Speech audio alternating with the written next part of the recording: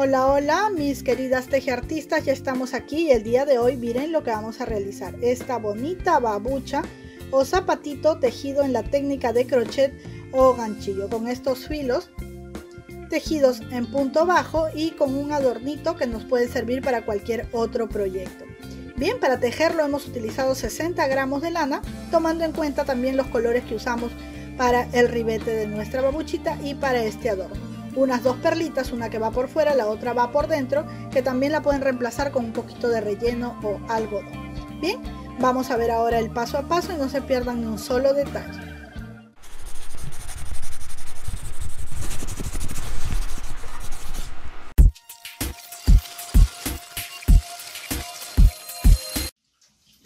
Bien, vamos a empezar a tejer nuestra babuchita en la técnica de crochet o de ganchillo y yo tengo aquí la lana con la que voy a trabajar. Miren yo tengo aquí un ganchillo de 7 milímetros de grosor pero les quería mostrar algo creo que en otro video ya lo hice.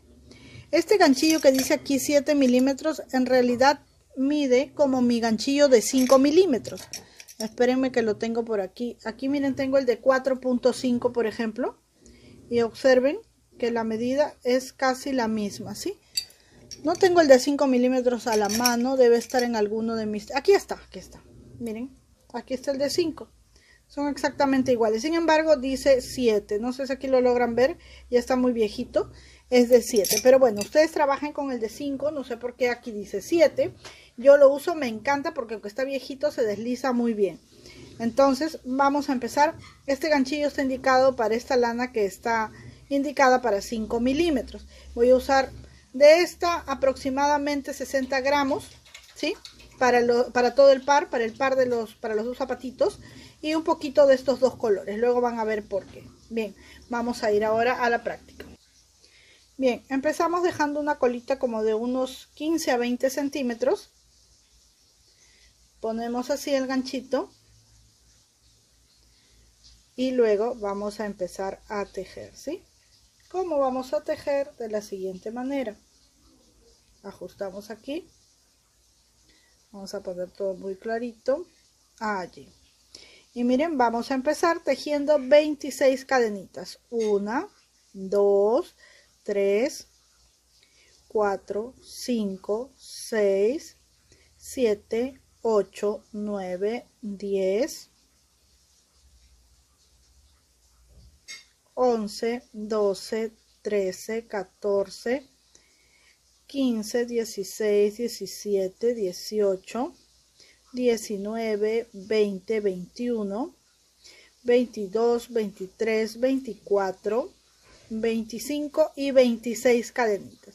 Una vez que tengo mis 26 cadenitas, cuento una, dos cadenitas y en la tercera ingreso, pero tomando hebra para tejer punto alto, aquí así tejo un punto alto y a partir de aquí voy a tejer un punto alto en cada espacio de cadena así como están viendo ¿sí? allí y enlazo nuevamente para punto alto ingreso en el otro espacio y así voy a tejer un punto alto en cada espacio de cadena hasta llegar al primer puntito a la primera cadena que hice. Vamos para allá.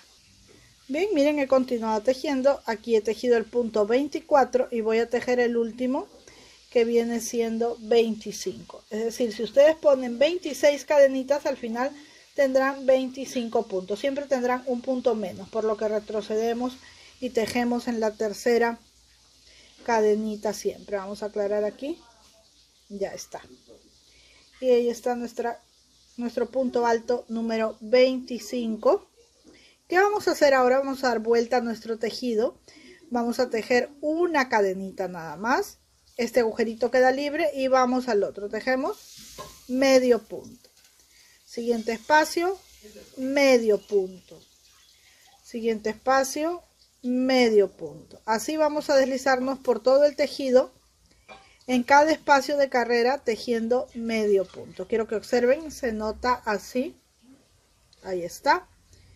Y vamos a continuar así. Este puntito es muy fácil y muy bonito también vamos a llegar hasta el extremo, ¿sí?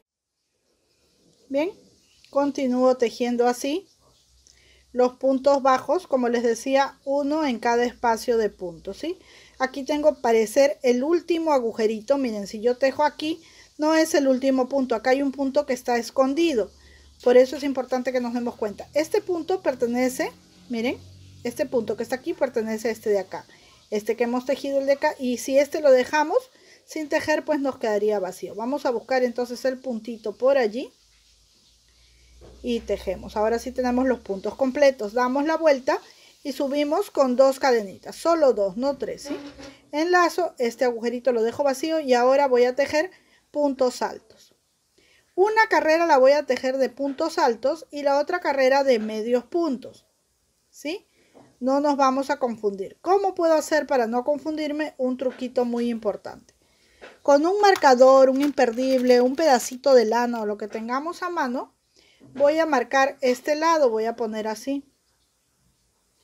Lo que quiere decir que cuando yo vea esta marca me toca tejer los puntos altos, ¿sí? Cuando estoy del otro lado tejeré los puntos bajos. Entonces de esta forma, como les he explicado, vamos a continuar tejiendo una carrera de puntos bajos y una carrera de puntos altos, ¿sí? Continuamos. Bien, miren, tengo aquí ya este tramo que he tejido, bueno, en realidad he tejido así, ¿sí?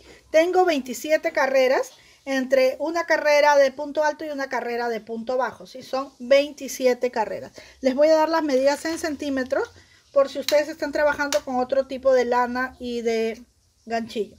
De ancho mi tejido tiene 16 centímetros, como pueden ver allí.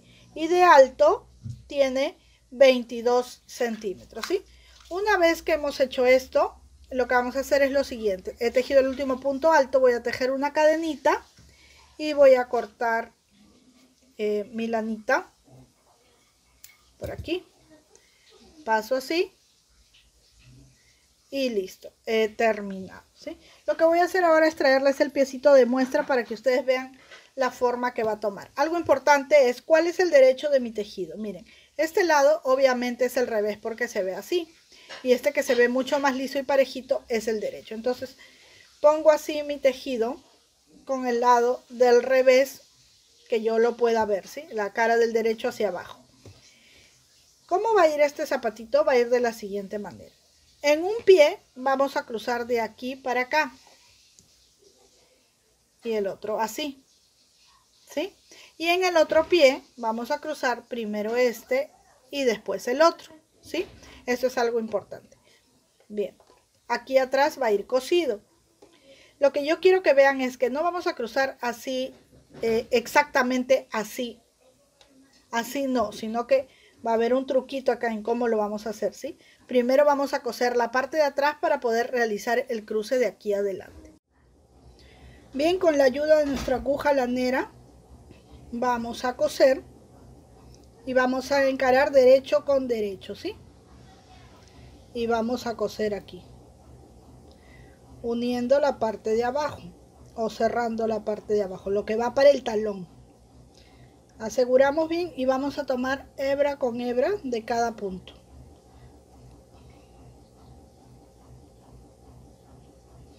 Así vamos a coser hasta llegar aquí. Bien, una vez que ya hemos cosido, voy a poner aquí para mostrarles lo que vamos a hacer. Les decía que no vamos a hacer simplemente este cruce así, sino que lo que vamos a hacer, ya les expliqué que uno va para un lado y el otro para el otro lado, ¿sí? Lo que vamos a hacer es jalar un poquito de la esquina, miren, de la esquinita, ¿sí? Y vamos a traerlo así. esta línea de acá quiero que borde el piecito, así. Y vamos a acomodarlo con nuestra mano, así, miren, ¿sí? Y este lado hará lo mismo, pero hacia el otro lado. Bien. Una vez que ya tenemos esto así, que no tiene que estar recto, recto, sino medio curvadito, y eso lo vamos a acomodar con la manito, vamos a poner una marquita. Y lo vamos a hacer con nuestros atracadores. Vamos a ir acá y vamos a tomar las dos partes allí. Vamos a retirar porque a partir de aquí vamos a dar toda la vuelta con crochet con otro color. Bien, miren, yo aquí tengo este poquito de otro color y voy a empezar desde aquí, ¿sí? desde la esquina voy a ir así por todo el borde y voy a dar la vuelta. Entonces, más o menos me ubico aquí. ¿Sí? Tomo la hebrita y ¿qué voy a hacer? Miren. Voy a tejer puntos bajos, nada más. Así. Un punto bajo, voy al siguiente agujerito un punto bajo, siguiente agujerito, otro punto bajo y miren así me voy a ir por todo el borde. Por eso puse mi marcador para que no se mueva el tejido de donde tengo el cruce, ¿sí? Miren. Miren, por ejemplo, aquí estoy allí. Voy a alargar el punto, quiero que se vea bien. Allí donde hemos puesto el marcador, ahora lo voy a retirar y con mucho cuidado sin que esto se mueva, voy a pasar por encima. Miren, voy a ingresar aquí y aquí también. Allí.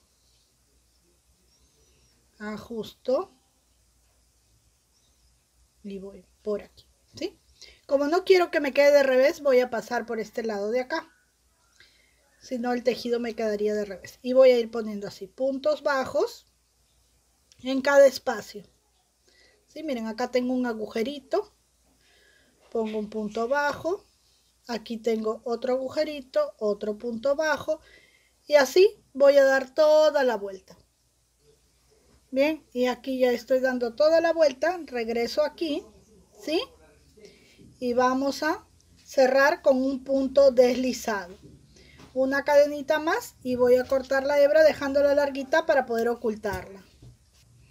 Ahora oculto esta hebrita de lana que corté entre el tejido ¿sí? Y listo. Ya estoy terminando. Aquí todavía no he cerrado, ¿sí? Bien, vamos a poner el piecito de molde para que ustedes aprecien mejor el proceso. Ponemos acá nuestro piecito así. Esto está libre, esto es lo que va a ir por aquí abajo. ¿Sí? Así.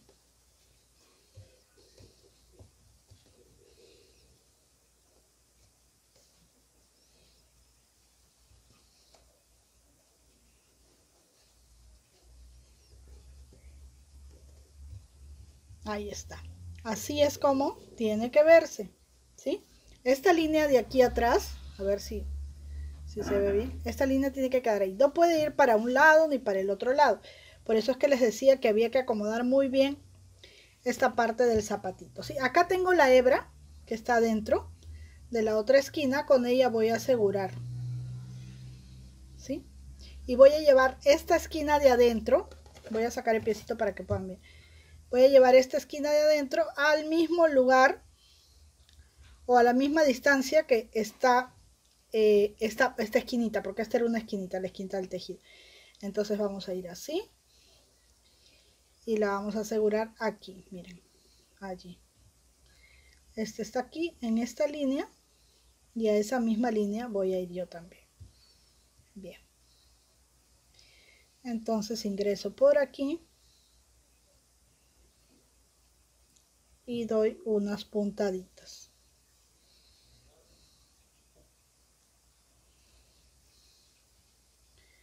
Solo unas puntadas, no es necesario que cosa toda la base. ¿Sí? Aquí voy a asegurar con una puntadita y pierdo entre el tejido la lana que está sobrando. Listo.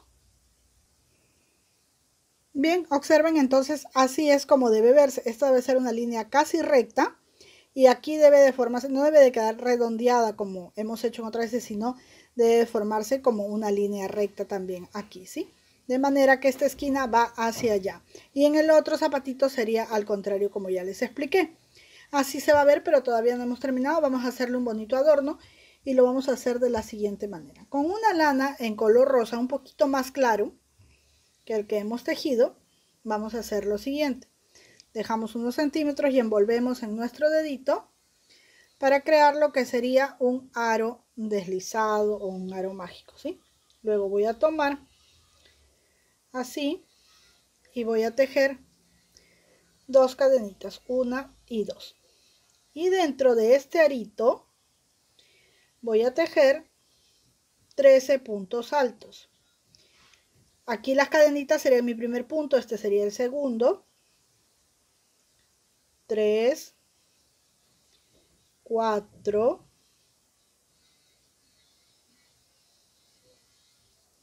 5 y así voy a tejer hasta tener en total 13 bien ya tengo mis 13 puntos altos voy a jalar de la cuerdita para cerrar el arito y voy a ir aquí una dos.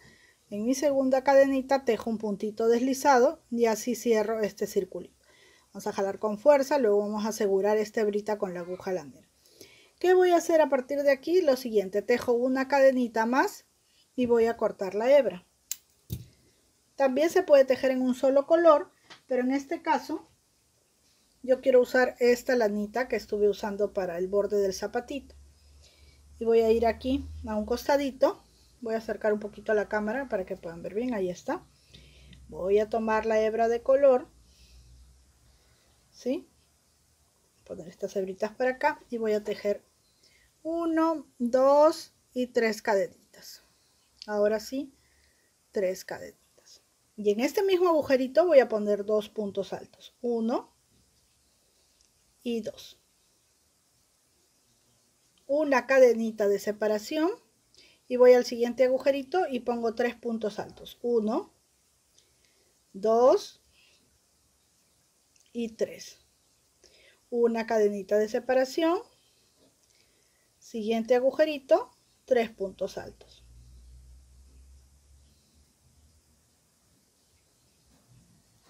1 a ver 2 y 3 puntos altos. Cadenita de separación siguiente agujerito 3 puntos altos. 1 2 y tres puntos altos. Cadenita de separación y así en cada agujerito voy a poner tres puntos altos. Vamos a continuar. Bien como pueden observar hemos puesto tres puntos altos en cada espacio de punto. Ahora vamos a ir a estos tres puntos de inicio aquí sí y vamos a contar 1 2 3 y entramos aquí en la tercera cadenita y cerramos con un puntito deslizado sí bien una vez que hemos cerrado con un puntito deslizado, vamos a tejer una cadenita más y vamos a cortar esta hebrita para luego ocultarla con la aguja lanera. Como también vamos a asegurar esta lanita que tenemos por aquí. Con la ayuda de nuestra agujita podemos ocultar muy bien todas las hebras de lana que nos van quedando. A ver qué pasa por aquí.